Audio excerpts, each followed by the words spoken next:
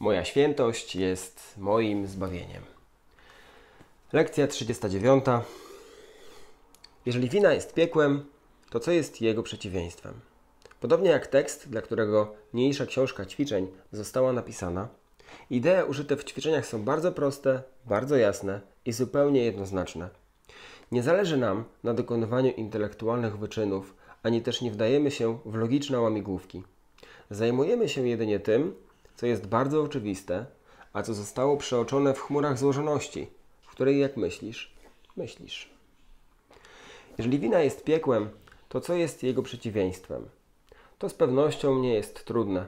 Przyczyną wahania, jakie możesz czuć, udzielając na to odpowiedzi, nie jest dwuznaczność pytania. Ale czy wierzysz, że wina jest piekłem? Gdybyś w to wierzył, natychmiast ujrzałbyś, jak bezpośredni i prosty jest tekst i w ogóle nie potrzebowałbyś książki ćwiczeń. Nikt nie musi ćwiczyć, aby zdobyć to, co już jest jego.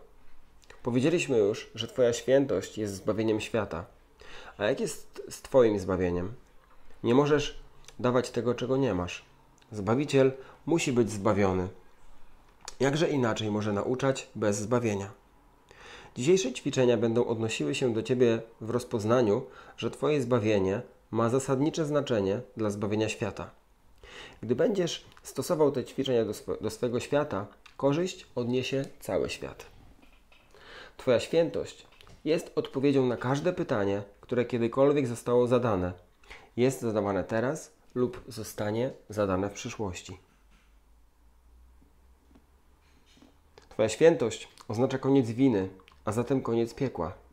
Twoja świętość jest zbawieniem świata i Twoim własnym.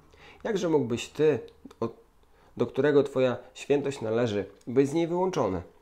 Bóg nie zna bezbożności. Czy możliwe, by On nie znał swojego Syna? Dzisiaj usilnie zalecane jest pełne 5 minut dla czterech dłuższych okresów ćwiczenia, lecz zachęcam Cię, byś ćwiczył dłużej i częściej. Jeżeli chcesz przekroczyć wymagane minimum, to zaleca się sesje częstsze raczej niż dłuższe, choć sugerowane są i jedne, i drugie. Okresy ćwiczeń rozpoczynaj jak zwykle, powtarzając sobie dzisiejszą ideę. Następnie z zamkniętymi oczami wyszukuj swoje niemiłujące myśli, niezależnie od formy, w jakiej mogą się jawić niepokoju, depresji, gniewu, lęku, zmartwienia, ataku, niepewności itd. Tak niezależnie od formy, jaką przyjmują, są niemiłujące i dlatego napawają lękiem. Zatem to od nich musisz zostać zbawiony. Konkretne sytuacje, wydarzenia lub osobowości, które kojarzysz z wszelkiego rodzaju niemiłującymi myślami, są stosownymi obiektami dla dzisiejszych ćwiczeń. Jest absolutnie niezbędne dla Twojego zbawienia to, abyś je ujrzał inaczej. I właśnie Twe błogosławienie ich zbawi Cię i da Ci wizję. Powoli, nie kierując się świadomym doborem i nadmiernie nie uwypuklając żadnej z nich w szczególności, szukaj w swym umyśle każdej myśli, która dzieli Cię od Twego zbawienia. Zastosuj ideę na dzisiaj do każdej z nich w ten oto sposób. Moje niemiłujące myśli o trzymają mnie w piekle. Moja świętość jest moim zbawieniem. Te okresy ćwiczeń mogą okazać się dla Ciebie łatwiejsze, jeśli przepleciesz je kilkoma krótkimi sesjami, podczas których po prostu kilkakrotnie po woli powtórzysz sobie dzisiejszą ideę. Może również okazać się dla Ciebie pomocne włączenie kilku krótkich odstępów, podczas których będziesz się tylko odprężał i zdawał się o niczym nie myśleć. Nieprzerwana koncentracja jest z początku bardzo trudna. Będzie stawała się o wiele łatwiejsza, w miarę jak Twój umysł stanie się bardziej zdyscyplinowany i mniej podatny na, na rozpraszanie uwagi. Tymczasem możesz wprowadzać urozmaicenie do ćwiczeń w takiej formie, jaka do Ciebie przemawia. Nie zmieniaj jednak samej idei, gdy będziesz urozmaicał metody jej stosowania.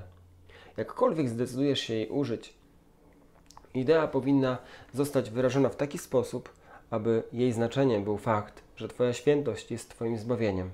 Każdy okres ćwiczeń zakończ jeszcze raz powtarzając tę ideę w jej wyjściowej formie i dodając: Jeżeli wina jest piekłem, to co jest jego przeciwieństwem? Podczas krótszych zastosowań, które powinny być wykonywane około 3 lub 4 razy na godzinę, lub jeżeli to możliwe częściej, możesz zadawać sobie to pytanie i powtarzać dzisiejszą ideę, najlepiej zaś czynić jedno i drugie. Jeżeli pojawią się pokusy, szczególnie pomocną formą tej idei będzie moja świętość, jest moim zbawieniem od tego. Moja świętość jest moim zbawieniem.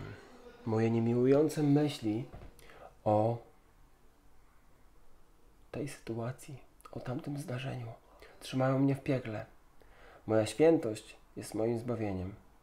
Jeżeli wina jest piekłem, to co jest jego przeciwieństwem? Moja świętość jest moim zbawieniem. Dziękuję bardzo. I zapraszam już niebawem. Pozdrawiam Cię bardzo serdecznie. Cześć.